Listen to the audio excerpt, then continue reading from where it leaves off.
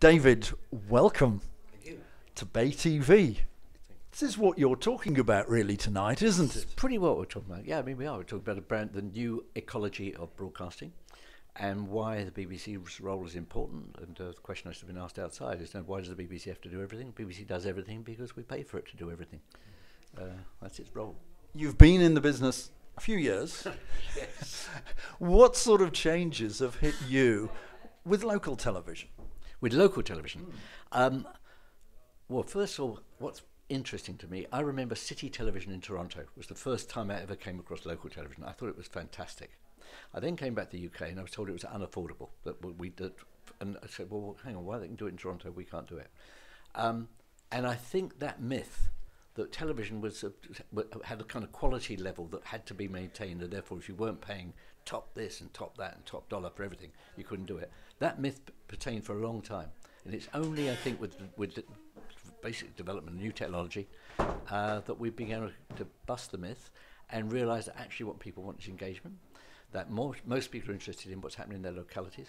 Most people are more interested in ha what's happening in their localities actually than what's happening in the nation at large, and uh, that it's been an unfulfilled dream of many, many people that local television would take off. Looking across the UK today, uh, what's your take on local TV now?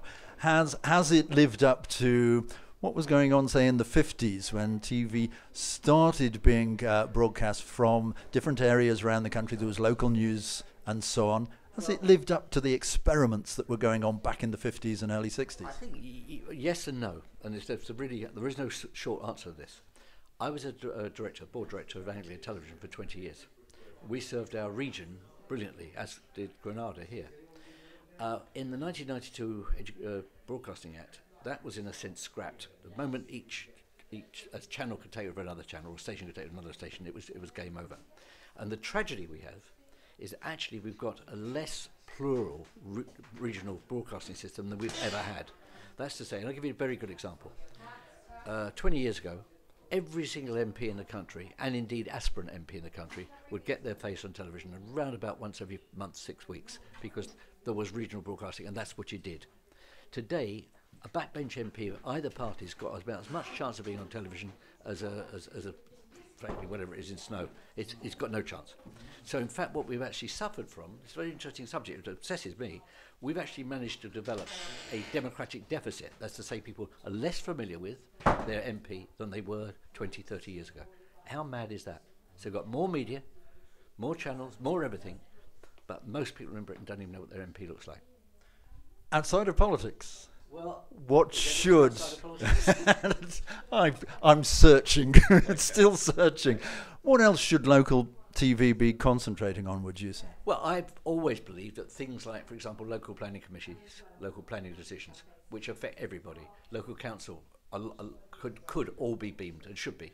We should actually know what our councillors are up to. We should know the decisions they make, and certainly in the case of big decisions that affect everybody, we should know why they're, you know, who voted for what. Um, so I think the penetration of council chambers could go a lot further. Penetration of, of, um, of uh, say, local planning decisions. Basically, when you go back, there's nothing that the, the classic local newspaper did that, that broadcast could, shouldn't do. Weddings. You know, I actually, I've always believed that basically if you could cover six or seven local weddings on a, on a, on a Saturday afternoon, that would make very compelling viewing for a lot of people the following day. Things like that. Connecting and communication. I mean, communicating. Also, when you actually look at where society is going, the interesting thing is I think community, community is becoming more important. I think people now are concerned. There's a whole slew of things they can't affect. There's things they can't even get their heads around. What they can affect is their own community. So the more you know about the community, the more you know about what drives that community, what the uh, imperatives are of that community, the more able you are to play a, to play a role in it. David, thank you so much for your time. Really appreciate it. There's nothing there, guys, you were particularly interested, but I hope at least. No, I, absolutely. I, actually, I, I believe very, very, very strongly. This is not. This is not some bullshit. I've been making this argument for 30 years. I've been watching TV since I was a boy in the 50s, and I feel equally passionate. And there yeah. were a lot of things you said there that I know with Neil from Bay TV at the back there. I think it would have resonated with him yeah, too. Absolutely. So yes. Yeah. You do yourself down. very kind. Thank you very much. Thank you. Thank you.